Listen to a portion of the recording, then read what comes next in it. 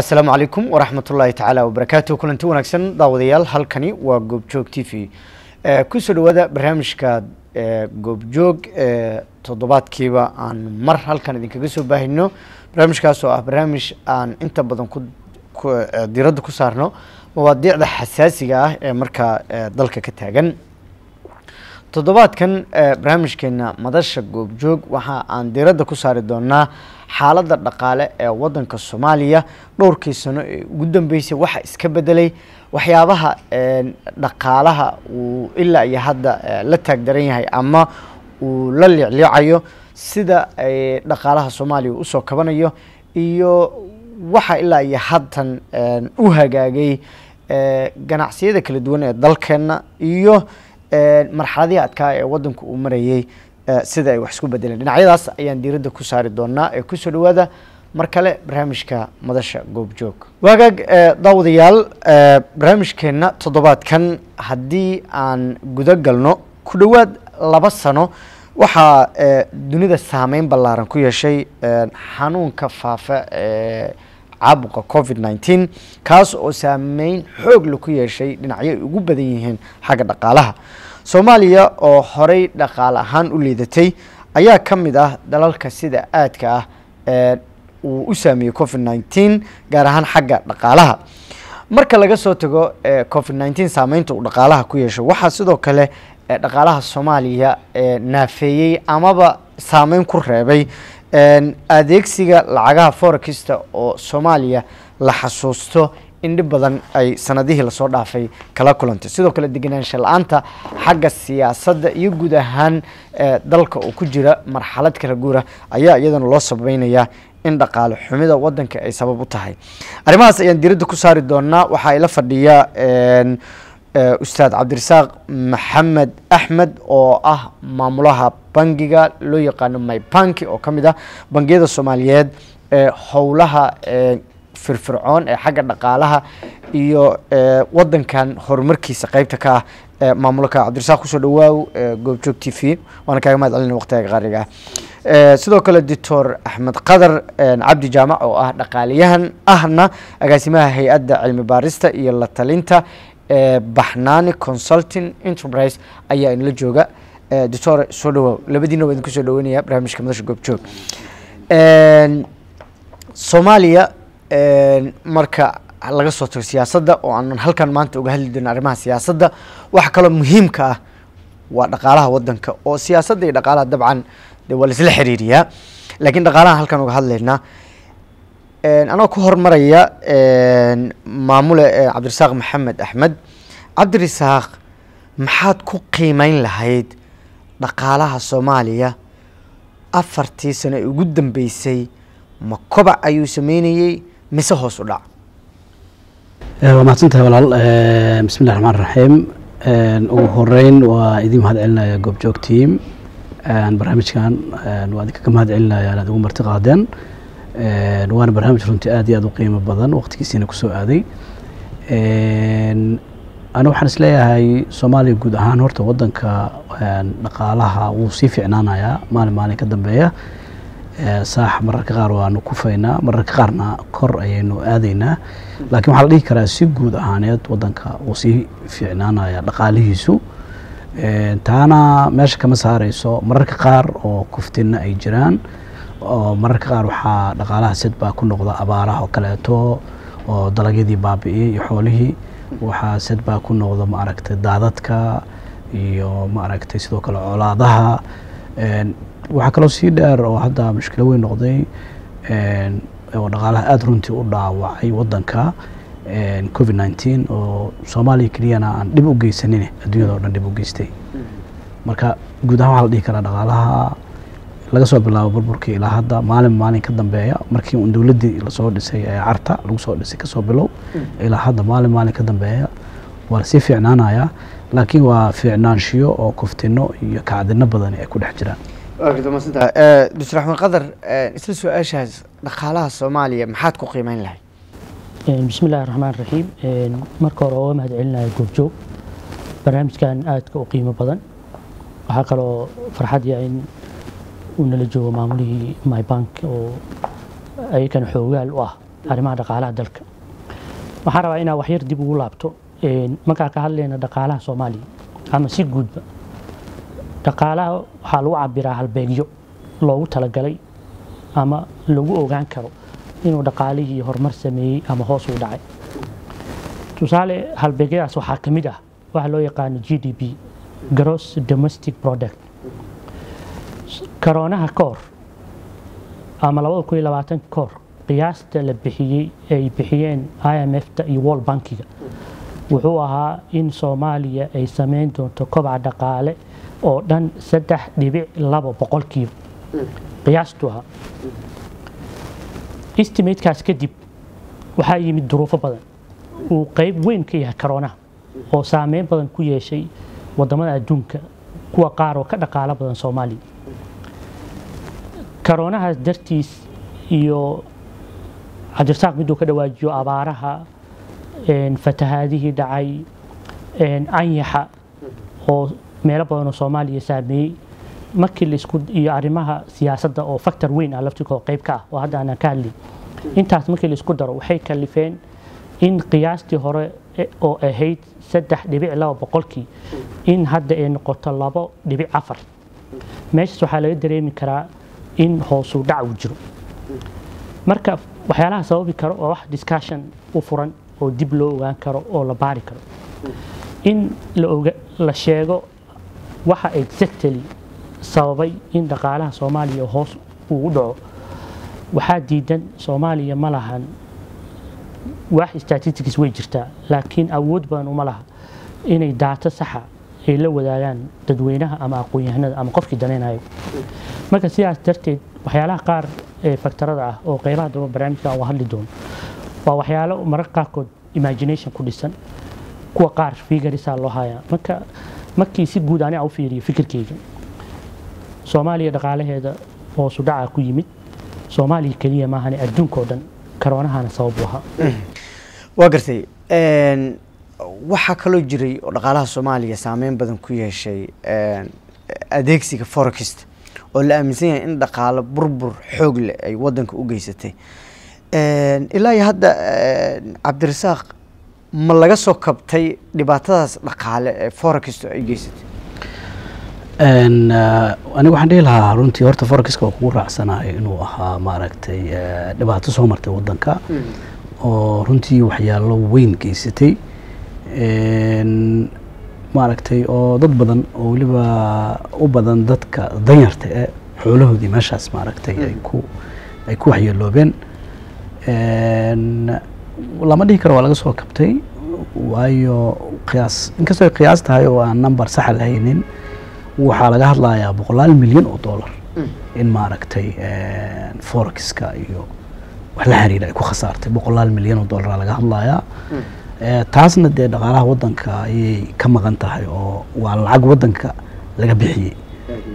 Welibana markaad wadan dhaqaalihiisa fiirinayso factorka oo forexka oo kaleeto waa aada u khalafsan yahay. Maxaa jira lacagta xataa ma ahan lacag oo isla wadanka gudihiisa dad ah aaday ma ah waa lacag wadanka banaanka uga baxday.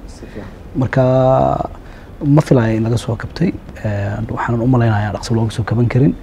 Dad badan oo waxaa jira maaragtay qaarkood ay dhulalkoodii iyo guryahoodii gadeen qaar dad badan oo waxaa jira maaragtay bajaajyo ayaga ay lahayeen gateen. Marka ma filaya in oo dhaqso looga soo kaban karo impacti ama saameyn weynna wuu yeelanayo waa gartay. Isla su'aashaas doctore kabashada forexka sidee looga soo kaban karaa dhaqaale burburkaas xooggale geysat run ahaantii waxyar intaana kabashada u gelin. Waxaa muhiima forexka soddonkii sano ugu dambeeyey soomaaliya. Waa dhibaatadii ugu weynaa ee dhaqaalehe soomaaliya ka dhacday waxaana u sababa waxayna keentay in dad middle class ah sayfin ay aruursadeen ama qof bajaaj ka shaqeeya ama qof dukaan leh lacag yar u aruursaday inuu forexki geliyo. Forexkii lacagtii lagu maalgeliyee nasiib daro soomaaliya gacanteeda kuma dhicin. Waxaa laga yaaba dhibaatooyinka dhaqaale dhici jiray in lacagta soomaaliya ku hari jirta laakiin forexka dhibaatadu geysta ugu weyn waxay tahay in lacagtii soomaaliya ee ka baxday ilaa qofkan forex dealerka ah lacagta qof kale oo broker u dhiib marka nasiib daro waxaa ah lacagtii dhuntay in soomaaliya aysan oolin haddiiba qof soomaaliya uu hayn lahaa waxaa laga lacagta soomaaliya inay ku wareegi lahayd oo si indirectly looga faa'iidi lahaa lacagaha burcadbadeeda ka mid ahaa burcadbadeeda markii laga soo tahay xalaal iyo xaaraan lacagahooda wax badanaa soomaalida ka faa'iideen gudaha ila ku riyi lacagta lacagtii waddan gudihiisa ku jirta laakiin forexiska dhibaatadeeda waxay ahayd in boqolaal milyan inay gacanta soomaalida ka baxaan wax ka yar lix bilood. Ma laga soo kabsan doonaa waa waxaa loo sidaas darteed ma laga soo kabsan karo. Wixii haddii soomaali hayn lahayn waa laga soo kabsan lahaa. Laakiin kabsida waxaa ula jeedaa micnaha haddii lacagta gudaha ay taallo oo lacagtii gudaha ku wareegayso. Qofkii lacag ka dhuntay dhaqaalihii kobacaasii si uga soo faa'iidi lahaa laakiin lacagta maadaama dalka ay ka baxday qofkii sayfinkii shanta kuna waxay noqonaya inuu ku soo aruuriyo shan sano toban sano labaatan sano dadka qaar lacag inay ku soo aruuriyaan ay ku dhacdo. Waxyaalaha sababa dadka forexiska inay galaan waxaa sabab u ahaa oo la rabo in laga faa'iideysto oo dad dadweynaha aan rabo inaan la wadaago. Soomaaliya fursado maalgelin ma jiraan. Micnaha markaa dhahay waxaa ka mid a soomaaliya forexiska koor dadka xoogga waxay saari jireen inay lacagtooda dhul geliyaan. Dhulkana waa wax fixed asset ah markii faa'iide inaad ka heshid aad rabtidna waxay noqonaysaa dhulka inaad dib u iibsid marka dadka waxyaalaha lagu gaaday oo dhibka loogu geysto waxaa ka mid ahaa in la Faa'iido degdeg ah. Mm. kun dollar keen bil kasta waxaan ku siinayaa lix boqol oo dollar. Waa monthly return oo joogto ah mar qofku wuxuu isweydiinayaa haddii kun dollar ah meeshaan geliyo oo bishii lix boqol iga soo gasho biilashii iyo problemskii waa iga xalismaya kunkiina meel ku yaalla. Meel ku yaalo marka waxaa dhacday marka dadkii inay ka soo wareegaan dhulka inay gataan ilaa awal xooga dhulkaa la saari jiray loo soo wareega forex. Waxaa dhacday dad badan inay dhulkooda intay iibiyeen forexkii ay galeen marka forexka waxaan ka baranaynaa haddii qofkii kun dollar haysta uu heli lahaa maalgelin meel intuu lacagtiisa uu geliyo. Bishiina boqol dollar ama kon dollar uga soo dhacdo. Dadka waxay ku dhiiran lahaayeen mid shan kun haysta Inay wax maal gashtaan. inay wax maal gashtaan. Waa garta aad mahadsantihiin bointigaas haye Ah, qodobka intaadan ka gudbaynin forexkan waxaan is leeyahay meelaha uu aadka u saameeyey waxaa ka mid a bangiyada oo kaleeto. Maxaa jira eh, ha maxaa jira een, lacagta oo forexka aaday ee wadanka ka baxday qaar ka mida waa dhici kartaa inay meelo kale ay ka yimaadeen. laakiin inta badan waxay ka yimaadeen bangiyada. Mm. laga bixiyey. Marka depositkii bangiyada runtii aaday u dhaawacday. Ogowna wadan kastaba depositkiisa intuu la egyahay ayaa waxaa uu la egyahay national depositka oo dadweynaha ay sameeyaan ay bangiyada dhigtaan. Ay yaa leegtahay? yaa waxa yani ay la eg tahay inta oo maalgelin ah oo wadankaasi uu heli karo. Marka laga reebo foreign investment marka laga reebo maalgelinta gudaha bangiyada sameeya oo ilaan lacagtii ayaga ay hayaan daday ku maalgelinayaan maogtahay infrastructurekii dhismihiisii qayb ka qaadanayaan wax badan ay sameynayaan. Marka yani dhaqaalaha guudna way dhaawacday arrintaasi bangiyadana si gooniya ay u dhaawacday. Example waxaan ku siinayaa hadda ribood waxaa jira bangiga dhexe hadda kwartarka ugu horreeyey sanadkan uu sameeyey ha rubici hore. yani national depositka soomaalida ama dadka soomaaliya degan ee soomaaliya ku noole ay bangiyada dhigteen ee bangiyada soomaalida akoonada ku leh. Bangiga dhexe yani wuxuu yani u ribood garay uu sheegay wax un ma aragtay eh, ka yar toddoba boqol oo milyan ama lix boqol oo milyan ka yar. Wax aduu lix boqol oo milyan ku dhow nambarkii hadda exact ma hayo laakiin nambarkaas waxaad u compare garayn kartaa kenya oo kaleeto oo laba kun iyo labaatankii ku xireen depositka bangiyadooda afartan iyo sagaal bilyan oo dollar. Marka you can see farqiga Eh, lix boqol oo milyan iyo afartan iyo sagaal bilyan oo dollar. siday maaragta u kala wen yihiin Ah, lacagta wadanka dadka ay haystaan oo bangiyada yaalla hal arrin Ay. inaa weli forexka maadaama mawduuc Ah, muhiim uu yahay. mu- ha. waxyaalaha hadda dhibaatadiisa waxaa ka mid a in dadka qaar weli deema lagu leeyahay. Oo forecast ka dhasha. Forex ka dhashay oo dadka qaar waxaa laga yaabaa maadaama markii dambe kambaniyo badan oo forex la furay in dadka qaar ay u shaqaynayeen qaab agenti ah. Oo dadka lacag ka soo qaadeen. Marka qolo kale u sii dhiibaayeen marka dhibka hadda ugu waxyaalaha jira waxaa ka mid a in dad badan ay qaamaysan yihiin. Deyn lagu leeyahay. Deen lagu leeyahay lacagtiisa bixin karin. Waa factor xoogan oo meesha ku jira. Doctor waa mahadsan tahay Een, marka dhaqaalaha laga hadlayo waa tiir muhiim ah dowladnimada iyo dalka muhiim ayuu yahay. Een, soomaaliya tobankii sano u dambeysay dowlad rasmi ah ka jirtay ha taag darnaato.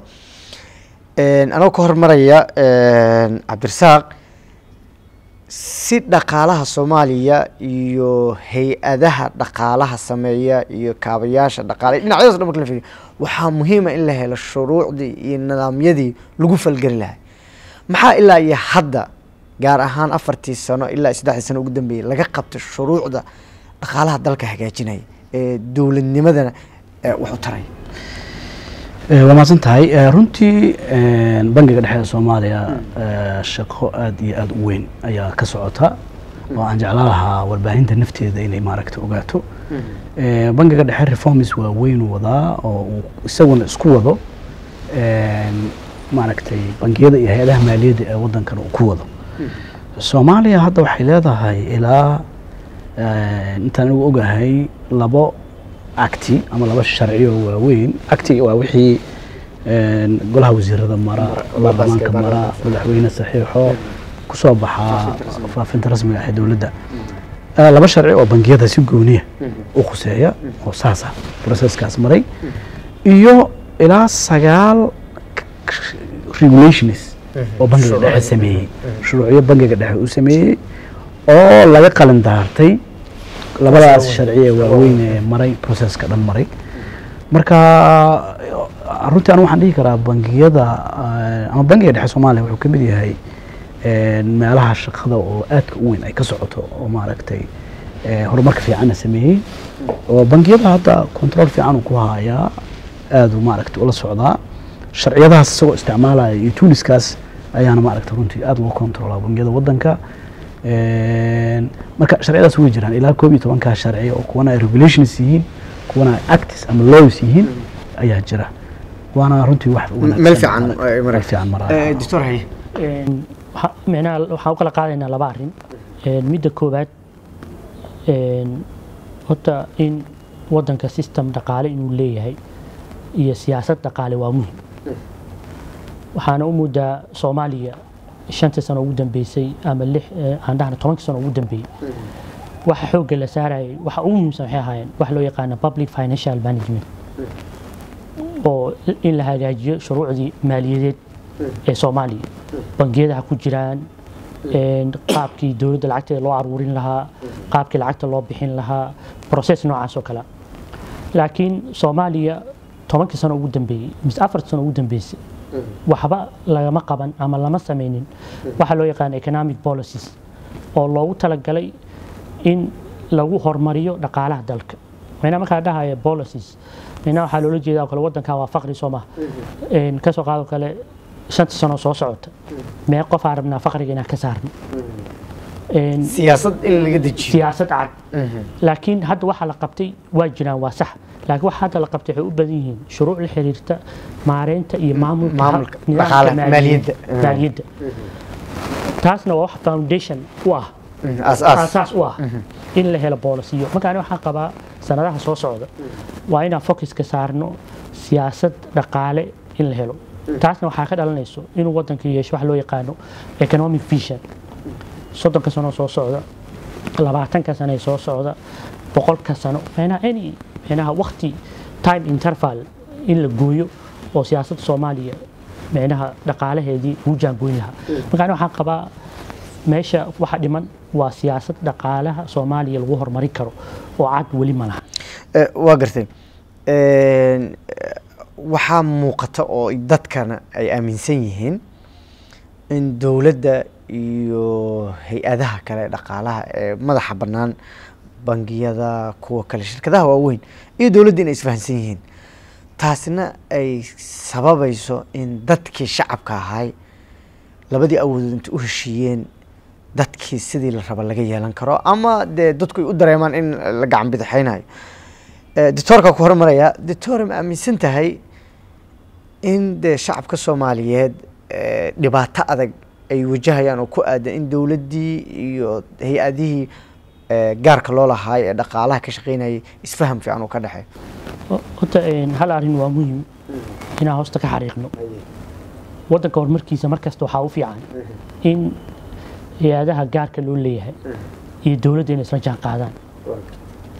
Ileen dadka hay'adaha iska leh minaa bangi ha noqdo kambani caadi ha noqdo ganacsi wuxuu ha noqdo ama xataa ku soo darna beesha caalamka in dowladda dhexe iyo institutionada ka agdhow inay isfahmaan waa wax muhiima laakiin isfaham noocee waa marka midka aan ka hadlayno isfahanka waa inuu noqdo mid ku dhisan accountability. in laisla xisaabtami karo tusaale oo kale rugta ganacsiga waa inay dowladda la xisaabtami karaan ay dhihi karaan annaga waxaan bixinaa canshuur noocaas maxaa noo qabateen xataa shaksi anoo kale haddaan canshuur bixiyo canshuur bixiye ah waa inaan dhihi karo degmada aan deganahay lacagtii canshuurta ee gurigeyga laga qaaday maxaa lagu qabtay? Qofku waa inuu isweydiin karo. Laakiin isfahanka waa muhiim waxaana muhima in aan ogaano mar kastana dowladda awood gaar ay leedahay. Taasna kama dhigno in wax kasta ay samayn karto. Xagga dhaqaalahan ka hadlayna marka ani waxaan qabaa accountability aa loo baahan yahay isla xisaabtan. Midda labaadna transparency-gii wixii inay caddaadaan micnaha haddii dhaqaale ay yihiin resourcigii soomaaliya soo galay halkuu ku baxay. See looga faa'iidaystay. Haddii beesha caalamka ay lacag bixiyaan lacagihii see looga faa'iidaystay. Qofka miskiinka canshuurtuu bixiyay see looga faa'iidaystay. Marka ani waxaan qabaa isfahanka waa muhiim waa loo baahan yahay waana support qaab dowladnimada lagu taageerayo oo muhima laakiin labada shardiya asal waa. Wagtay ageysi mas'uulaashaas waa mahadsantahay. Aniga si kalaan u dhigi lahaa jawaabta runtii waxaan is leeyahay anaga dhaqaalaha waddankeena horta iskuma diidanin inaan jiisayno oo dhaqaalahana uu tacbaan yahay. Aniga meel kaloo focuska saari lahay oo ah ma noo socotaa shaqo fiican oo waddankeenna wax u taraysa dhinaca oo maaragtay dhaqaalaha. Aniga private sectorka runtii ammaan badanaan aan u hayaa waana ka tirsanahay maxaa jira dadka waddanka hadda oo maaragtay wada oo maaragtay maalgelinaya oo shaqaaleysiinta wada oo wax walba wada waa iyaga.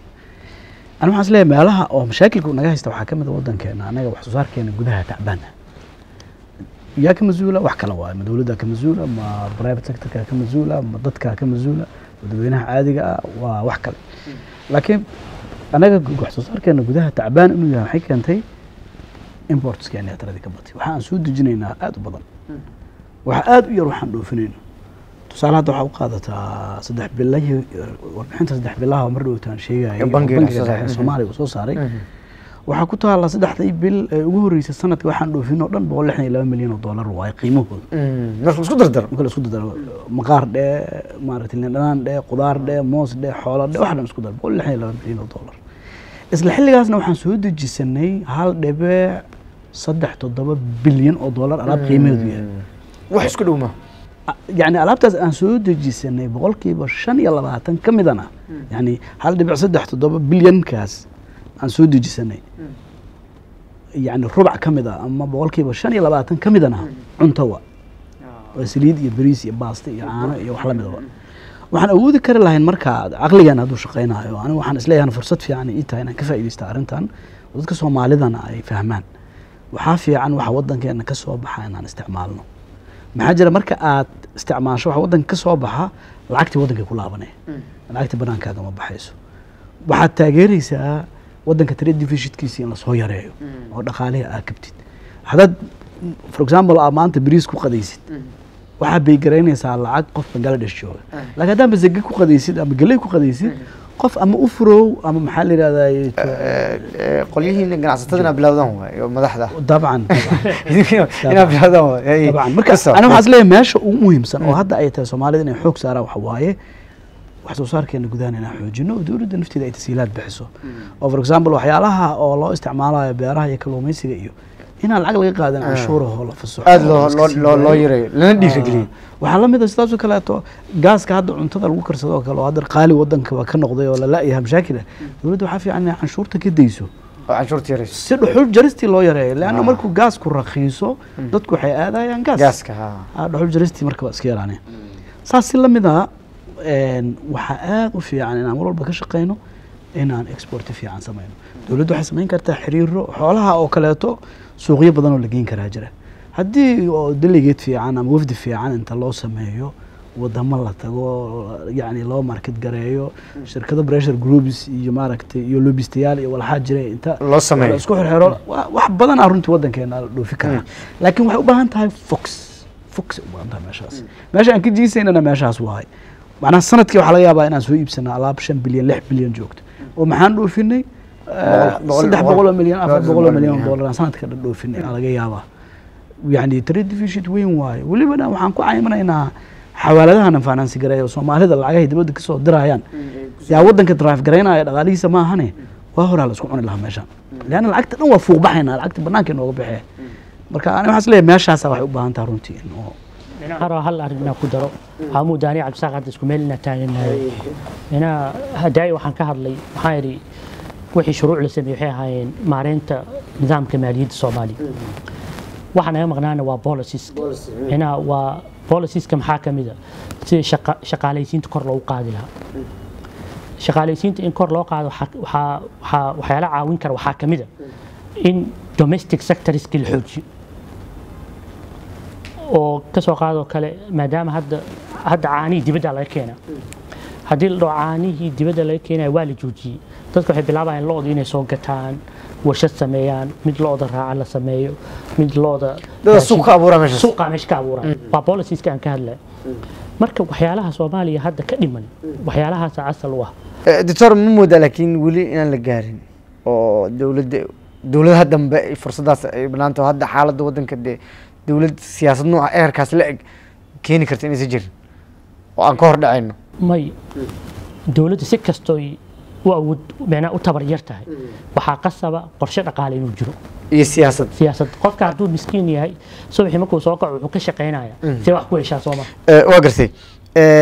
Ustaad cabdirasaaq maxamed axmed aa u imaanayaa Eh, ustaadii eh, dadka soomaalida aad afartii sano la soo dhaafay waxay aada u barteen waxa la yihahda dayn cafin. Oo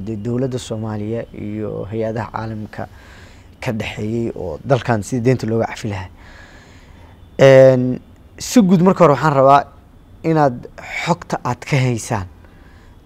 Aad inoo sheegtaa meesha wax maraysa. Kadibna aan bal isla fiirino maxay dayn cafintaas iyo nidaamkaas la sameeyey dhaqaalaha soomaaliya iyo soo kabashada hay'adaha dee gaarka loo leeyahay dhaqaalaha wadanka ay u tari kartaa.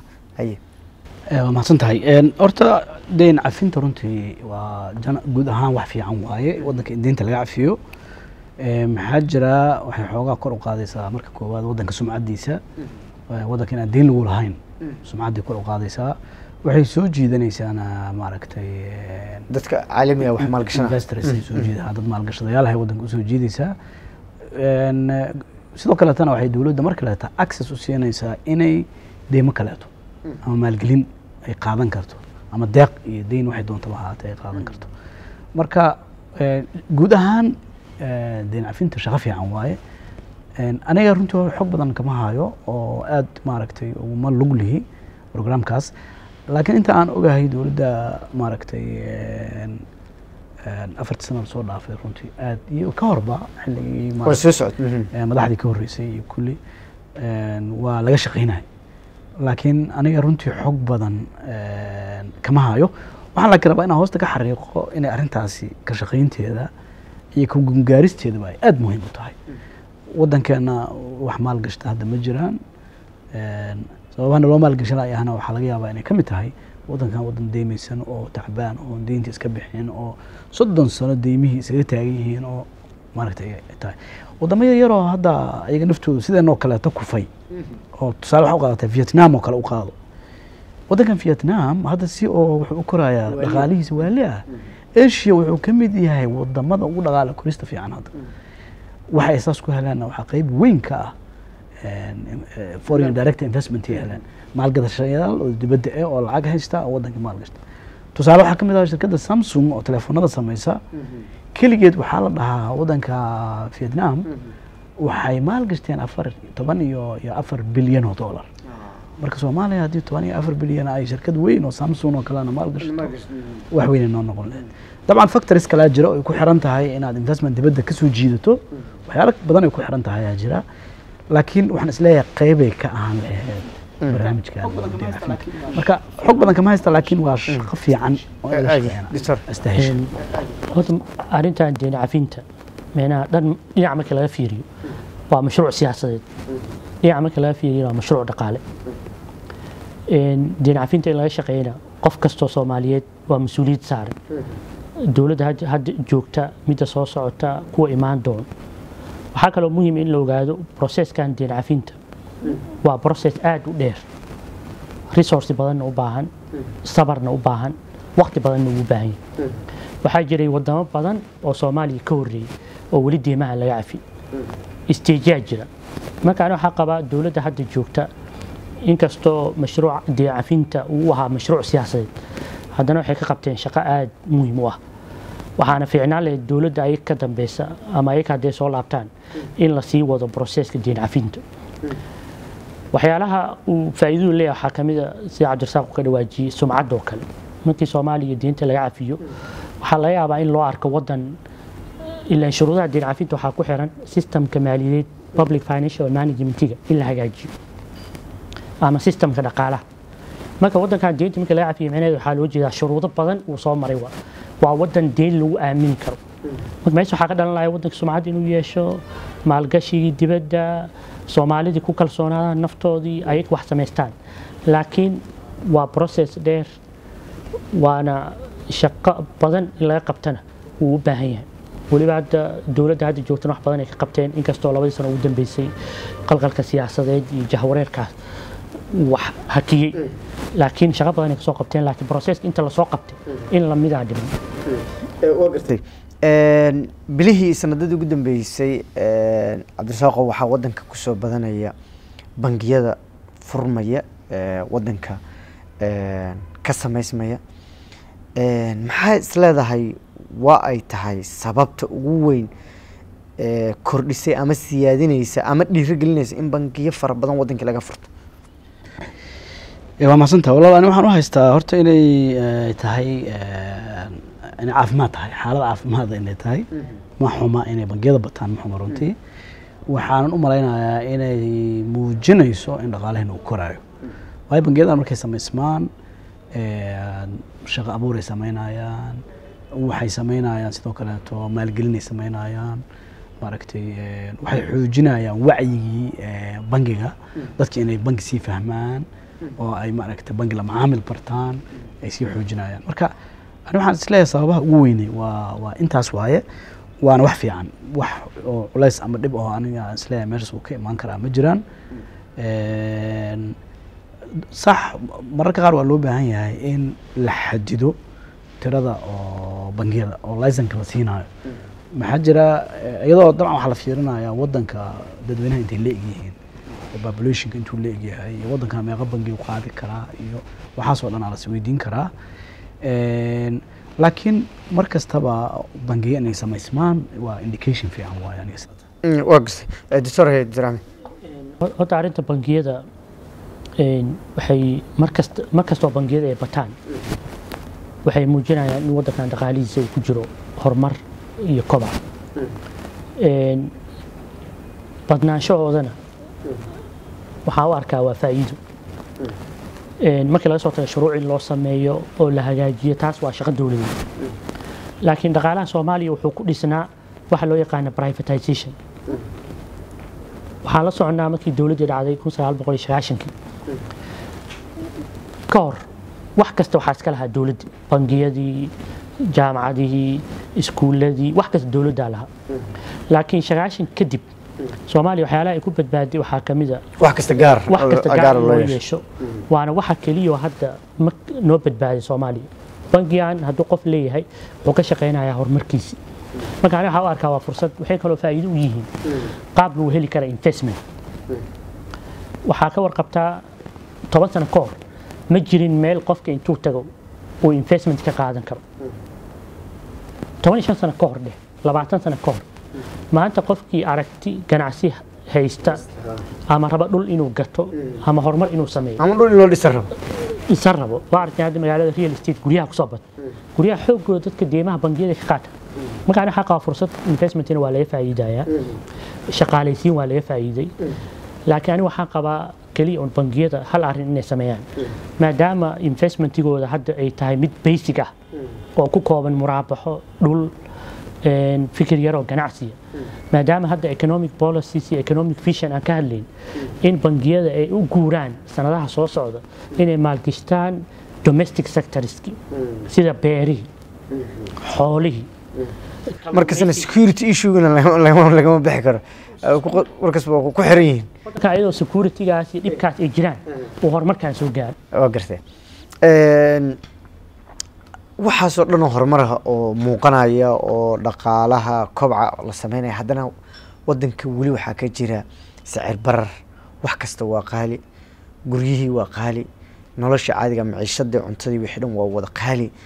Maxaa sababaya? Maxaa sababaya yaa iskale eedaas ma dadka ganacsatada brefatka ah oo wax soo degsanaya iskale aad ayaa qaadaya? Wax kasta waa qaali. Maanta markaad aad maqaayad tagto ama guri aad cunno u soo iibso maagto wax dhan waa qaali. Maxay tahay sababta waa su'aashaasi aad ay muhiim u tahay runtii.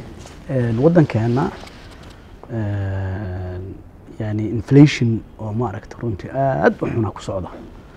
Waxaana dhici karta in dad badan oo ka mid ah soomaalidu aysan dareensanayn ani waxaan is inflationkaas ama maaragta sicirka oo qaali noqonaya waxaa qeyb weyn ka ah lacagtan doolarka isticmaalayno lacagtan eh, doolarka dabcan waa lacag ma aragtay eh, qalaad waa lacag adag waa lacag wadan uu iska leeyahay dhaqaale ahaan anaga aad nooga horreeya wadan number one adduunka ka ah xagga dhaqaalaha.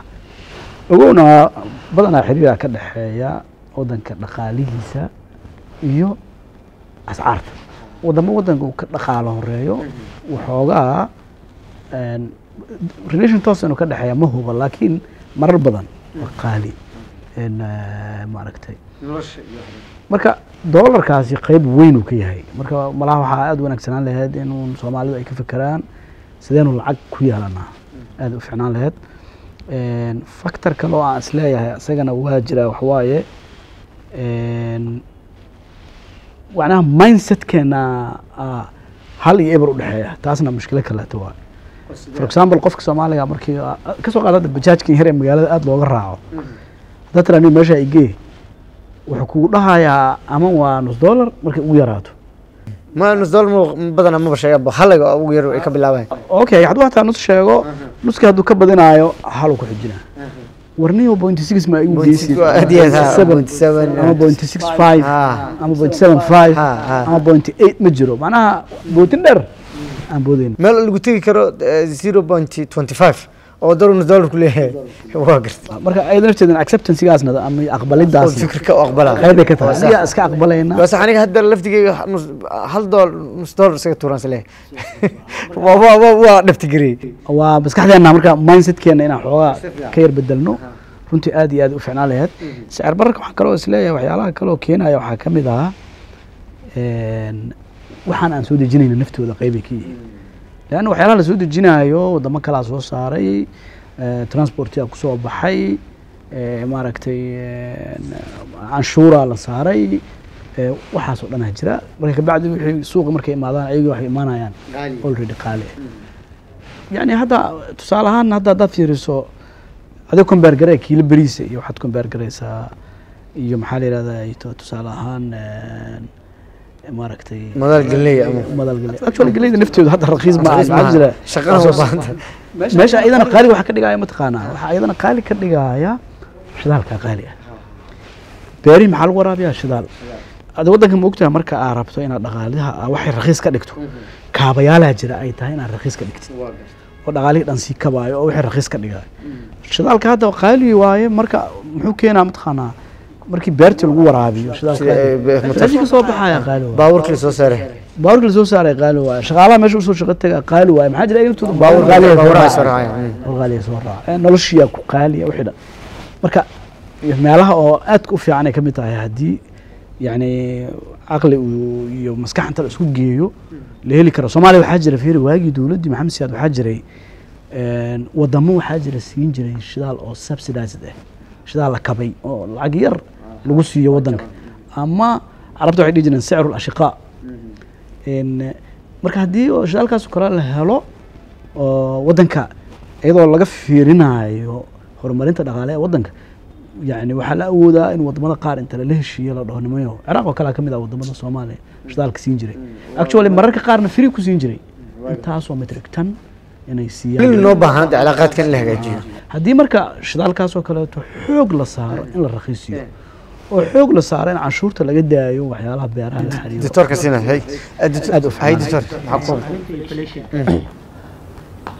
hadda xilligaa la joogo.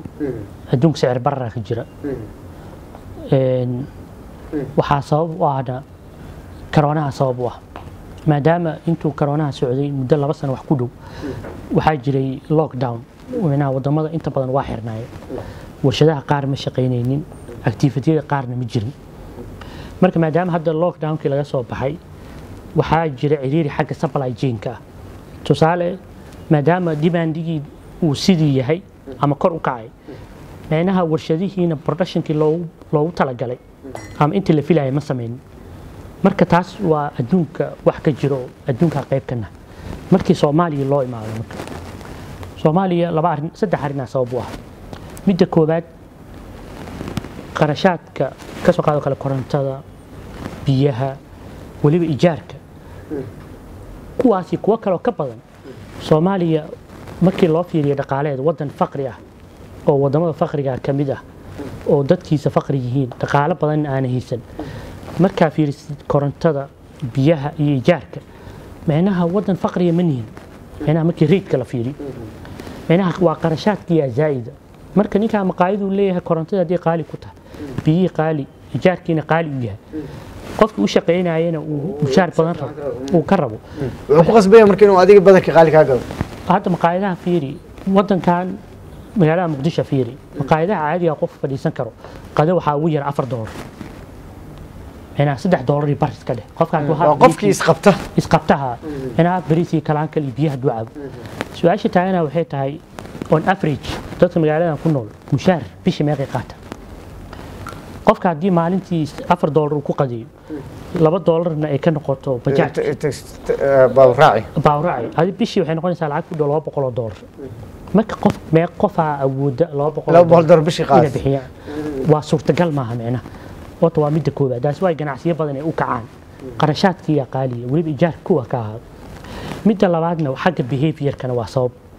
Soomaalida hadda lacagta haystaan ee magaaladan joogo cabdirasaaqna uu ka warqabay. Inta badan xoogooda lacagta waxay ka soo sameeyeen suudaan south africa iyo wadamo anaka barjaysi powerka naga xoogan qaarkood. Marka qofkii lacagaha ganacsigan magaalada lagu haayan xooggeeda xaggaa laga keeno marka qofkii mentality waxaa ku jira behavior ah micnaha maadaama south africa uu lacag ka soo sameeyey. Deg deg lacag u sameey ha inta markuu imaado ma fiirinayo war qofkan soomaaliga ma awoodaa. Hadda fiiri apartmentiska xamar qiimaha lagu gato iyo qiimaha ay ka joogaan turkiga iyo malaysia. Micnaha kan xamara qaalisan mararka qaarkood. Waana wax u baahan in la soo baaro. Inta badan marka haddii apartment xamar boqol iyo konton kun lagu gato turkigana ay ka joogta lixdan kun ama toddobaatan kun. Ka sii yarba marka turkigana wuxuu ku jiraa waddamada dhaqaalahooda uu fiican yahay. Soomaaliya iyo turkiyana wax la isku cabiri karaa waa sax marka ani waxaa qabaa inflationkan midda ugu dambeysa waa ku daraya waxay tahay wadamadaas adduunka inflationka waa la kontroolaa dowladdaa kontroosha micnaha waxyaalaha lagu kontrool waxaa ka mid oo kale hadda gaaska oo kale ama bariiska oo kale soomaalida ama burka oo kale. Ama guri kastoo soomaaliya canjeelaa laga cunaa subax sooma.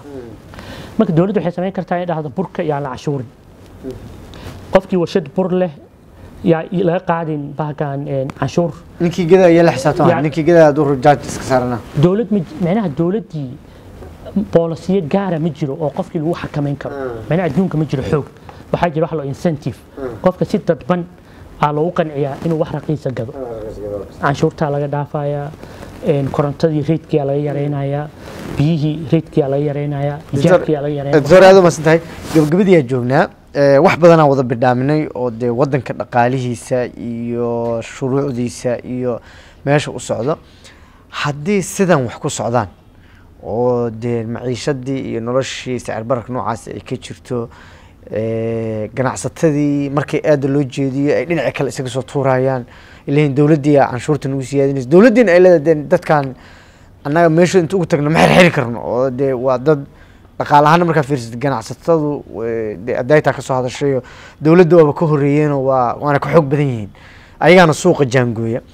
Sidee xalka dhaqaalaha ee wadanku ku dambeyn karaa maxaase xal noqon kara? Waxaan ku horeysiinayaa eh, agaasim cabdirasaaq eh, maamul soo dhawaad. Waa mahadsan tahay aniga waxaan is leeyahay waxyaalo dhowr ah oo waxaa jira haddii la sameeyo runtii eh, sicir bararkan iyo mashaakilka lagu kontroli karo.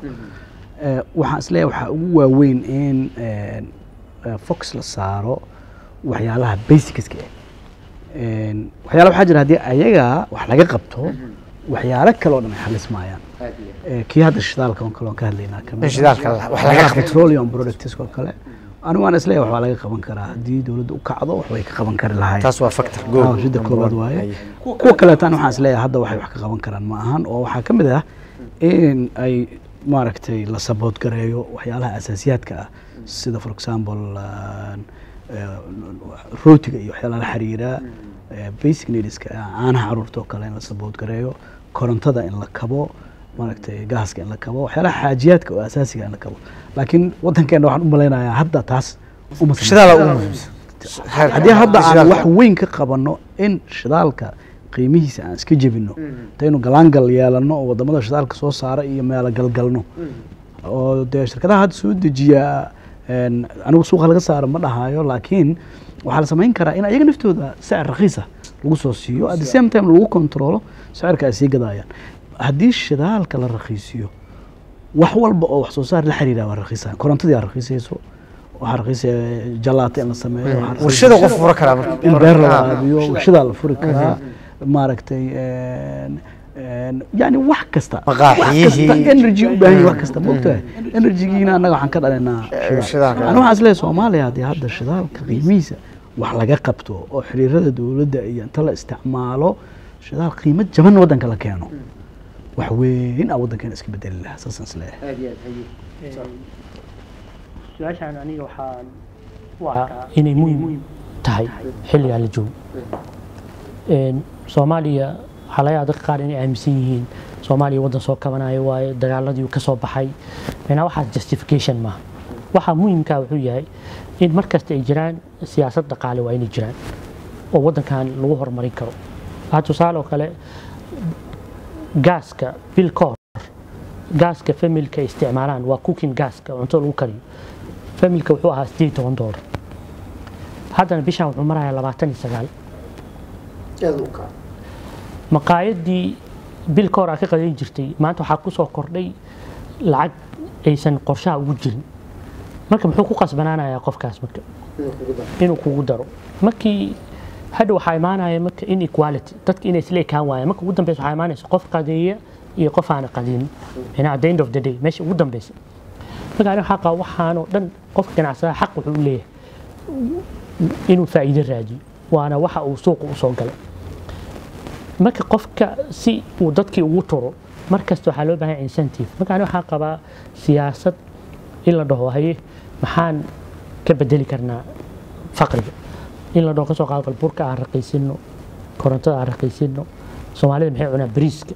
Bariiska aan gaarsiino kiilada inay noqoto 0.1 toban kun oo shilin inay noqoto aan gaarsiino haye mooskoo kale maxaa ku samayn karnaa? In la dhiirogeliyo ganacsatada ka shaqeeya beeraha xoolaha kalluumaysiga macnaha in annaka dib waxayna inta ugu laaban siyaasad in loo helo laakiin haddaana siyaasad loo helin waxaa imaan doonta sida waddamada qaar in xagga inkamka farqi weyn u imaado. Dad yaroo taajira iyo dad badan oo faqriya. Hadhowna meesha waxaa ka dhalanaya crime. Qofkaa markuu qadadii awoodi waayo ijaarka iska bixin waayo wadankii fawdaa ka bilaabanayso. Marka ani waxaan qabaa si crimekaas iyo dhibaatadaas looga badbaado in siyaasad la helo waa muhiim. U ah eh, oo kaabayaasha dhaqaalaha ka mid ah een, jidadka in ma aragtay eh, la furo oo ganacsiga loo furo. Maalin aniga waxaan tegey eh, afgooye. Beeraan waxaan ku arkay runtii oo miro spandays ay dhulka ku daadanayaan marka ninkii iska lahaa beerta waxaan weydiiyey warniyo mirahan ma xamar geysatid oo suuq geysid waa laga marka gadanaya wuxuu igu yidhi isbaarada xamar ka sokaysa lacagta iga qaadanayso. Aaba ka badanba. Marka isbaarooyinkaas iyana qabataa. aad u fiicnaa leh. Ah, waddooyinka daawadayaal eh, barnaamijkeeni madasha goobjoog oo toddobaadkan uga hadlaynay xaaladda dhaqaalaha wadanka ayaan intaas ku soo gabagabaya waxaan idin ballan qaadaynaa in toddobaadyada dambe aan barnaamijyo noocani oo kale ah oo dhaqaalaha wadanka ku saabsan eh, isla markaana aan geeni keeni doono marti iyo dad eh, xogaal u ah dhaqaalaha wadanka iyo halka uu marayo aan idiin soo gudbin doono waxaan u mahad celinayaa oo si gaara uga mahad celinayaa barnaamijkana maanta nagala qayb galay cabdirasaaq maxamed axmed oo ah maamulaha maypanki oo ka mid ah bangiyada eh, soomaaliyeed ee wayadan dambe howlaha fiican xagga dhaqaale kobcinta iyo in wadanka wax lagu soo siyaadiyo soo kordhiyey maamul cabdirasaaq aad baan uga celinaa sidoo kale doctor axmed qadar cabdi jaamac oo isaguna ah dhaqaaliyahan ahna agaasimaha hay'adda cilmi baarista iyo la talinta baxnaani consulting enterprise oo isna nala fadhiyey nalana falanqeynaya arrimahan. Ayaan mahad celinaya doctorka doctor axmed iyo agaasime maamul cabdirasaaq labadiina waa mahadsantihiin waan idin mahad celinaya waqtigiina qaaliga aadna siiseen daawadayaal tan iyo barnaamij kalan lamida intayna dib u kulmi doono waxaan idinkaga tegaynaa sidaas iyo nabadgelyo